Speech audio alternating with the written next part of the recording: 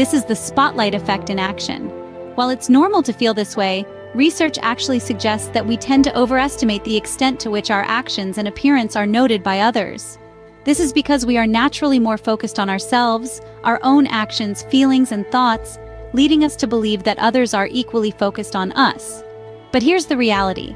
People around us are usually too engrossed in their own worlds, their own thoughts and issues, to scrutinize us as intensely as we imagine they do. It's a startling realization, isn't it?